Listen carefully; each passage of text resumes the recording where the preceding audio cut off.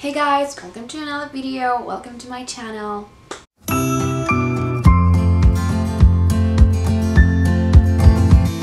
the video of today, we are going to talk about things that the company or other people do not tell you about being an au pair. So let's get started. So the first thing that I'm gonna talk about is the curfew. Um, so there are two types of curfew. One if you have the car and the other one is normal regular curfew which, the, which is the time that you get home.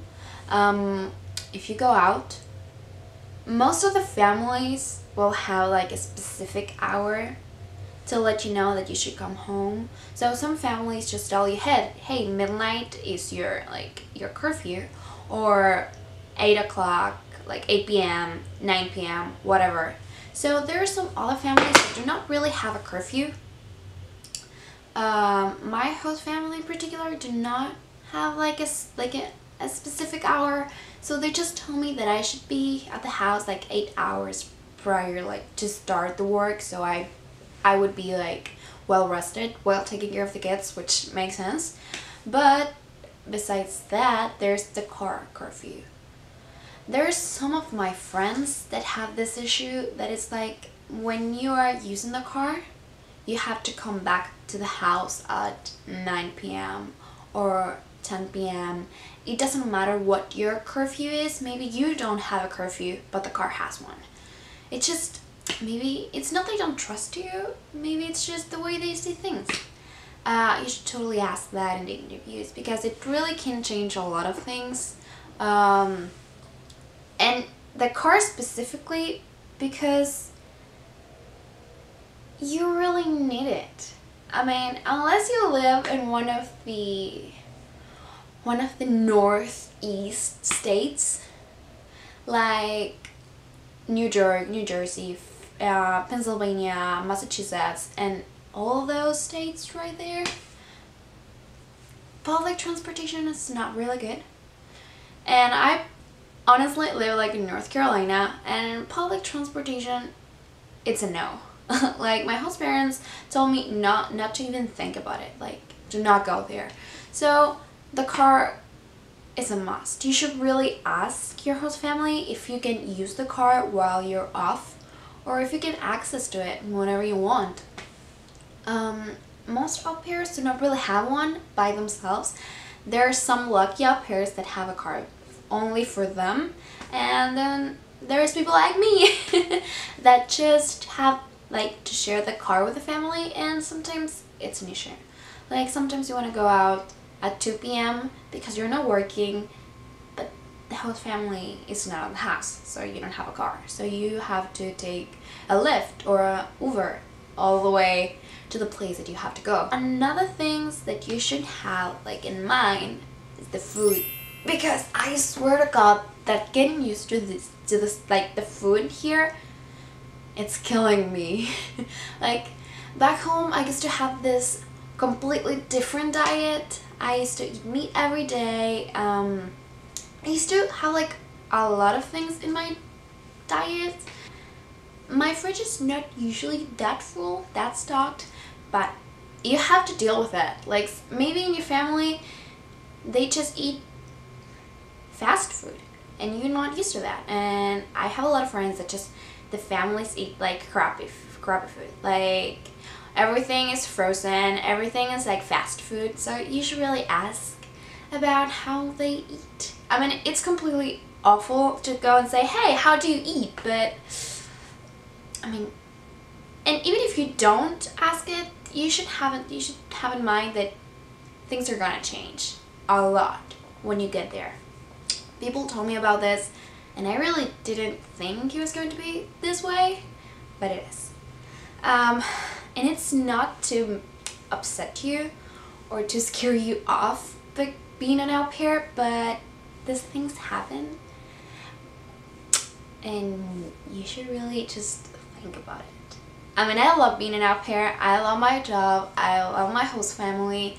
But still there are these things that just they're a lot to take in one of the other problems is like that you live where you work I know that maybe you have read or you have heard a lot of people telling you this, that it's really hard and you should really think about it, but that's why I say it again. You should really think about it. Um, on my day off, like on my mornings off, I wake up because I hear, I listen to the kids like screaming or just, Mom, I want breakfast, Mom, I want this or that or whatever. You listen to them because they're really, really loud and they wake you up. So even if you have the morning off or have the day off or the whole day off, it's most likely that you're going to wake up really early. Um, other things that you need to think about is that kids in the States are way different that of course when you're from but way more different at least in my country things are completely different. Um, and I've heard a lot of stories from another au pairs from another friends that are from many different countries around everywhere in the world and things are really different. So kids here can come off as spoiled um, that happens. And you will not change it. Like the kids are raised that way and even though you hate it or even though you want to change it it's like that. Unless you have little kids young kids that's a good thing because you can actually like start changing some kind of behavior that they have. But if they're older kids just forget it it's set. And the parents maybe do not want to change it. So you have to cope with whatever the kids throw at you. If it's something big, you should go and say, hey, sit, like sit with them and just tell them, hey, uh, I had a problem with one of the kids. And they usually will help you. So don't worry about that. You should really communicate with your family. Like the biggest thing that you have to have in mind is that communication is key for everything. Well, then there are some other stuff that you should really ask your host families like summer summer season if the kids have summer camp or if they do something during summer because trust me summer is it's awful. Like you you think you can do this but when it's here you want to kill them. Like you have every day every day the whole week with the kids. And sometimes in summer, usually pairs just work the 45 hours or even more than that. So that will take us to the extra hours, extra paid. That it's another topic. So if you're working extra hours, you should talk to the host family and just tell them, hey, I'm working more hours than I should. Or if you have become, if you have like both have an agreement about you're working more and they pay you more, then it's completely fine if that's what you want to do. I mean, it's illegal, but whatever. I know there are some girls that for more money, they work extra. And it's completely up to you. Another thing that you should ask, and that no one really tells you about this, because I completely forgot about this particular thing, before I came to States and there was this one girl that just told me that I should worry about it. It's like phone and the plans because your phone may not work in the States or maybe it works but you have to change the plan and it's more money. So some families would pay for you, like my host family pays for my phone. We, they added me to the family plan but there are some other families that do not really pay for that. So you will have to pay that.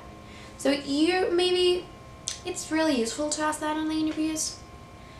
And there's one left one last thing that you need to worry about before you come to States.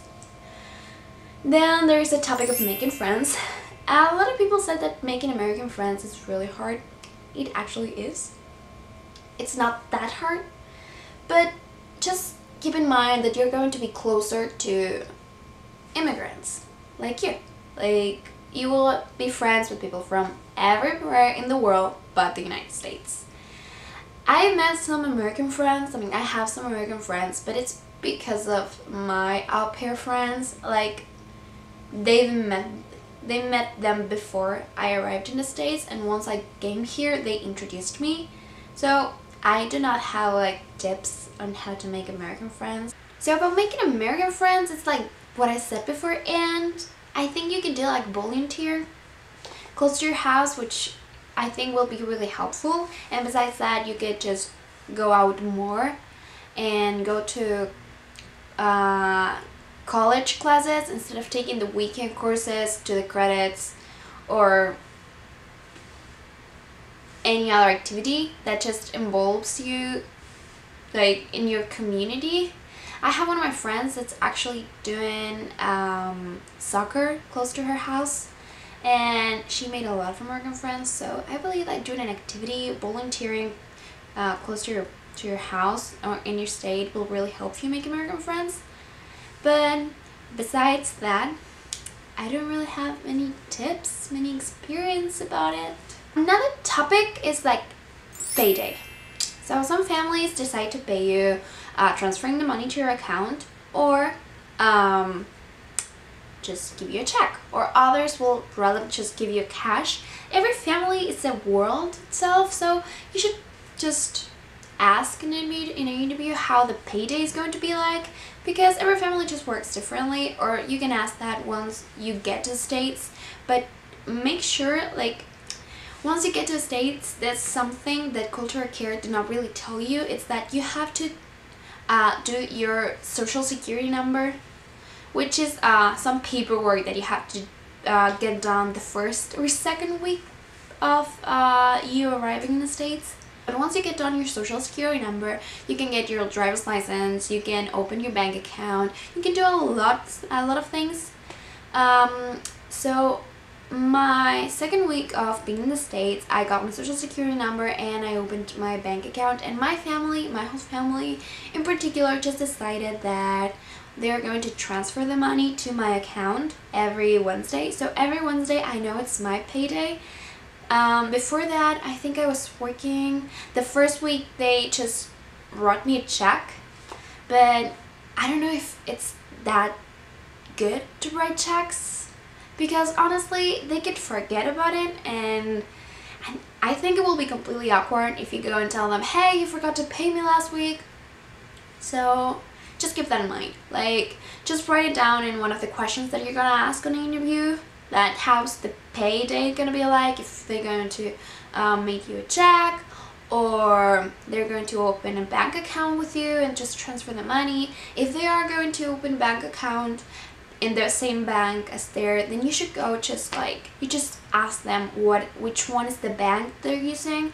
So before you go to states you know what is the things that you have to um, that you have to uh, show the bank. If not you can do it right here. It's the same.